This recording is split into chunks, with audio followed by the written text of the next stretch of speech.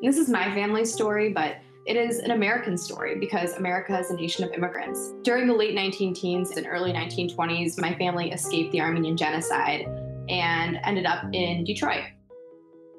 Armenian Americans have been really politically active since they came to this country, essentially fighting for recognition and the legitimacy of the struggle. As a young person, that was another way that I sort of experienced politics was through my culture. My dad was a union utility worker. Got to hear a lot about uh, labor unions at the dinner table, which was kind of an unusual thing as a kid. I was just always was really curious about how two sides who really disagreed vehemently on some big issues, how they were able to come together at the end of the day. She was always very inquisitive, always. She really listened to everything everyone was saying and tried to become part of any conversations we had. So don't really remember her being a baby.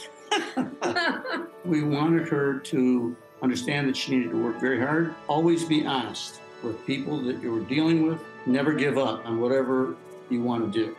Every day when I walk through the threshold before I get onto the floor of the House of Representatives here at the state capitol in Michigan, I think about my family and our family story and all of the things that they came to this country for for security, for a better life for their families, to make sure that they could live with their neighbors in safety. I think about that because those are all the things that I'm really fighting to make sure we still have here in Michigan.